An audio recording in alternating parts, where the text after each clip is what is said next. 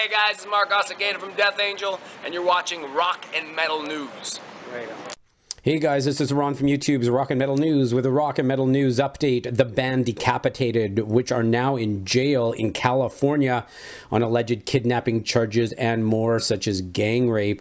They have now released their first public statement since being arrested. They stated, well, we are not perfect human beings. We are not kidnappers, rapists, or criminals. As such, we strongly deny the allegations that we have recently been brought against us.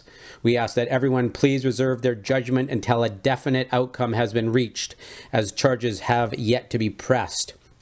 Full testimony and evidence will be presented in due time, and we have faith in that process. As there is uncertainty regarding a timeline for prospective proceedings, and out of respect for fans and promoters due to the severity of the claims, we have canceled all planned touring. All social media platforms have been temporarily disabled, uh, disabled as they have been used as destinations for defamatory and malicious remarks. We would like to point out that the statements in the published police report were given prior to an arrest. At this point, no member of the band was aware of an active warrant being issued. So that is the current statement. So stay tuned for any updates on the decapitated situation. This is Ron from YouTube's Rock and Metal News. Thanks for tuning in.